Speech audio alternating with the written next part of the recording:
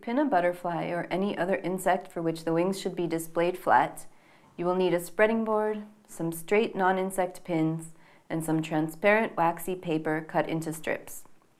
Pin the strips at the end of the spreading board on either side of the gap.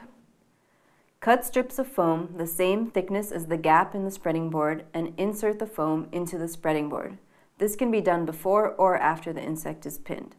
Hold the insect gently with the wings folded. Try not to touch the wings in order to prevent damaging them. Use a number 2 or a number 3 insect pin and pin the butterfly through the middle of the thorax so that the pin emerges between the legs. The body of the butterfly should be 1 centimeter from the top of the pin. Pin the butterfly in the gap of the spreading board so that the head and abdomen are supported by the foam.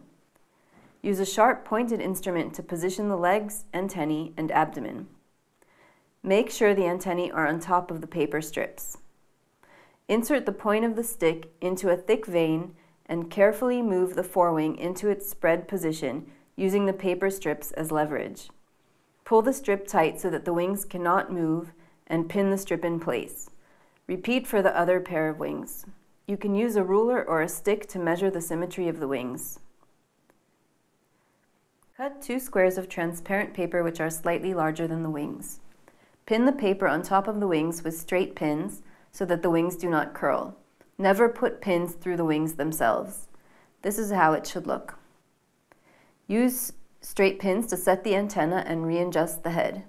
Tuck the legs in and secure the abdomen in its final position.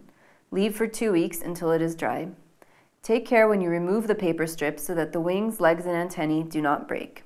Thank you for watching our video on how to pin butterflies.